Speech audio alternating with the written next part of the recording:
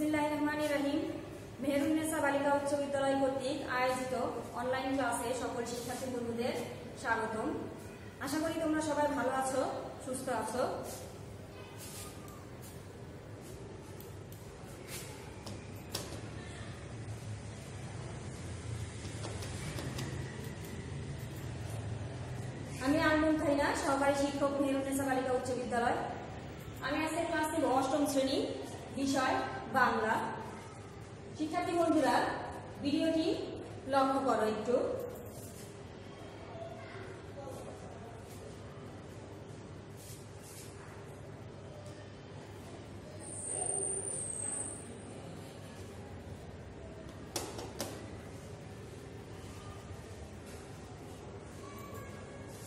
ভিডিওটিতে আমরা কি দেখতে পেলাম? ভিডিওটি থেকে আমরা বুঝলাম দুইজন মানুষ মনের আনন্দে গান গাচ্ছে তাহলে আজকের পাঠের বিষয় হচ্ছে সুখী মানুষ। লেখক মমতাজ উদ্দিন আহমেদ সুখী মানুষ মূলত একটি নাটিকা। এই নাটিকার দুটি অংশ রয়েছে, দুটা দৃশ্য। প্রথম দৃশ্য, আজকে প্রথম অংশ।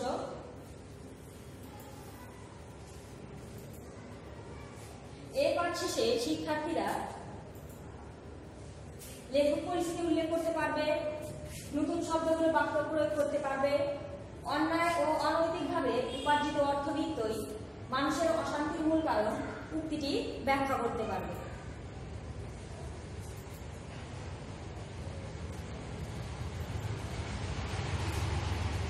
ছবিতে আমরা একজন মানুষকে দেখতে পাচ্ছি। তিনি হলেন মমতাজ উদ্দিন আহমেদ সুখী মানুষ নাটক- নাটিকাটির লেখক। মমতাজুদ্দিন আহমেদ জন্মগ্রহণ করেন পশ্চিমবঙ্গের মালদহ জেলার উনিশশো পঁয়ত্রিশ সালে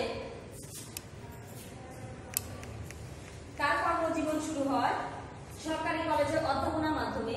এছাড়াও নাট্যকার ও নাট্য অভিনেতা হিসেবে খ্যাতিমান ব্যক্তিত্ব হিসেবে তিনি সুপরিচিতি লাভ করেন। তার উল্লেখযোগ্য রচনা, নাটকের মধ্যে রয়েছে স্বাধীনতা, আমার স্বাধীনতা, রাজা অনুসারের পালা, সাত ছাটের কানাকড়ি আমাদের শহর, হাস্যলাস্য ভাষা।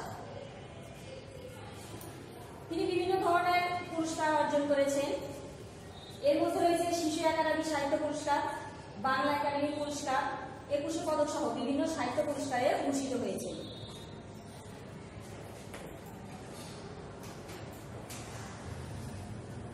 আদর্শ পাঠ। দেখতে পাচ্ছি শিক্ষক স্টুডেন্টদের পড়াচ্ছেন।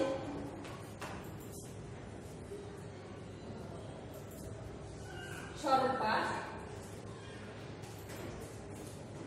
এখন আমরা কয়েকটা শব্দ অর্থ জানব কবিরাজ কবিরাজ শব্দের অর্থ কি কবিরাজ শব্দের অর্থ বৈদ্য অর্থাৎ আয়ুর্বেদ শাস্ত্র হতে মতে যিনি চিকিৎসা করেন, তাকে আমরা কবিরাজ বলে থাকি।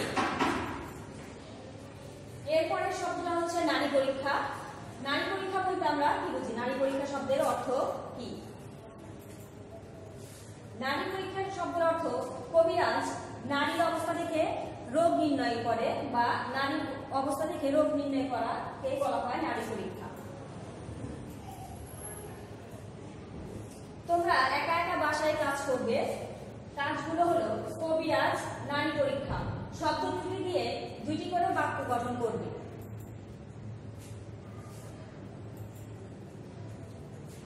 চরিত্রলিপি এই নাটিকার চরিত্রকে কোন কোন চরিত্র ছিল এবং সেই চরিত্রগুলোর বয়স কত? নাম, প্রথমে নাম ছিল হলো মরল। এই নাটিকার একটি প্রধান চরিত্র হলো মরল। মরলের বয়স পঞ্চাশ বছর। তিনি ছিলেন অত্যন্ত লোভী, নিষ্ঠুর সাধারণত তিনি গরিব মানুষদের ধন সম্পদ, গবাদি পশু, অন্যায় অত্যাচার ভাবে লুটপাট করে ধনী হয়েছেন। এরপরে ছিল কবিরাজ। কবিরাজের বয়স হল ষাট বছর।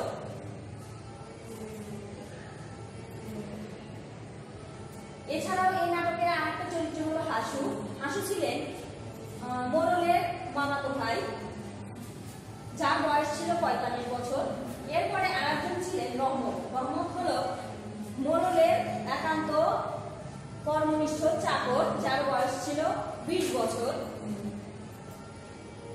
এছাড়াও এই নাটকায় আরেকজন লোক ছিলেন, যার নাম হলো লোক, কোনো নাম দেওয়া নাই। যার বয়স ছিল চল্লিশ এবং তিনি ছিলেন একজন সুখী মানুষ।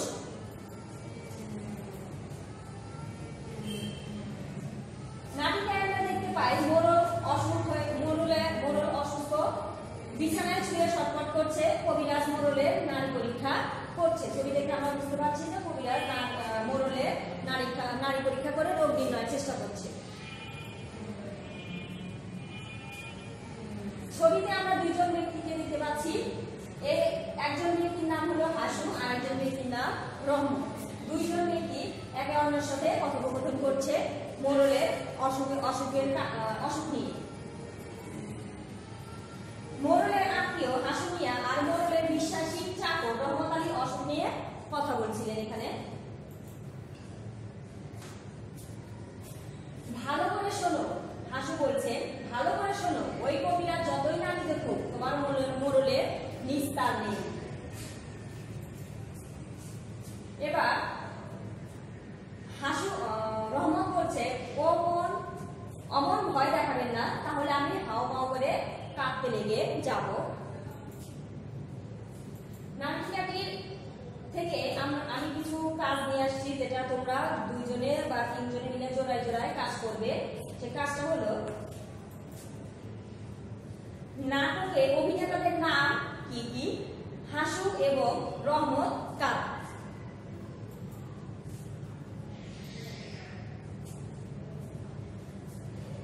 এখানে চিত্রে আমরা দেখতে পাচ্ছি কবিরাজ মোরলের নারী পরীক্ষা করছে এবং আহ, আশেপাশে মোরলের আহ, মামাতো ভাই আত্মীয় হাসু এবং চাকর রহমত কথা বলছিল কোলাহল করছিল। এজন্য কবিরাজ তাদেরকে কথা বলতে নিষেধ করছিল এখানে।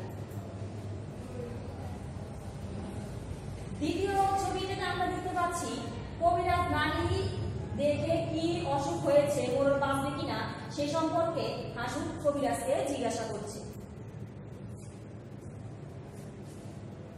এখানে আমরা দেখতে পাচ্ছি হাসু সরি রহমত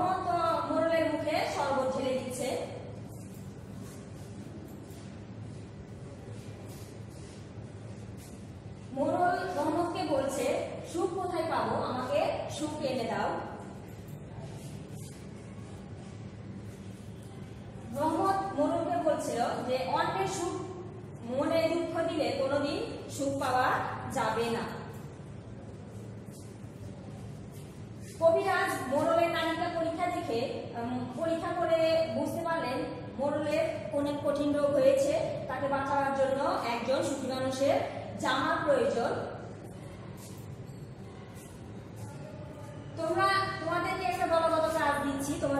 আশেপাশে দু চারজন যারা আছে তাদেরকে সহকারে তোমরা আলাদা আলাদা দলে ভাগ হয়ে এই কাজটা করবে। প্রথম কাজ ছিল মোরলের চারিত্রিক বৈশিষ্ট্য দলে আলোচনা করে দেখবে। দ্বিতীয় কাজ হলো মরলের অশান্তির কারণ কি কি ছিল সেগুলো চিহ্নিত করে লিখবে